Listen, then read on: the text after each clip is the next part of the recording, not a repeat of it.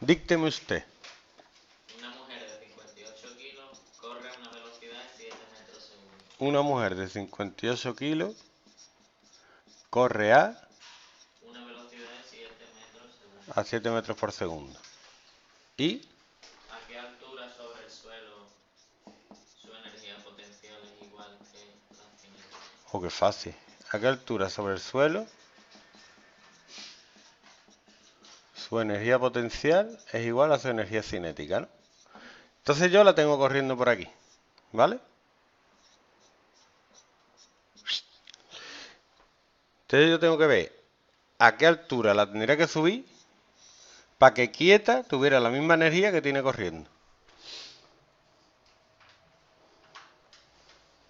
Ella ahora mismo va Ella ahora mismo tiene una energía, solo tiene energía cinética, pues yo considero que en el suelo la altura es cero.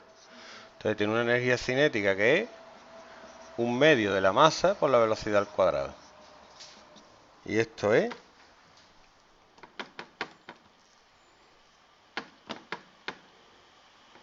...1421 julios. Entonces, para saber a qué altura tiene esa energía...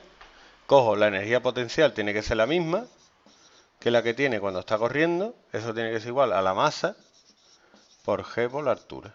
Y despejo la altura.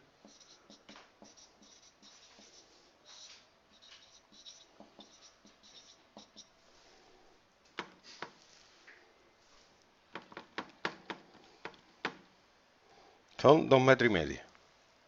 Qué poco. Qué poco, ¿no?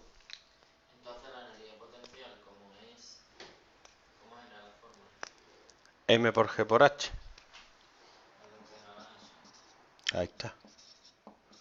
Entonces, con que se tire de 2 metros y medio de altura, llega a coger 7 metros por segundo cuando llega al suelo. ¿Qué te parece? Una buena torta que se pega la tía.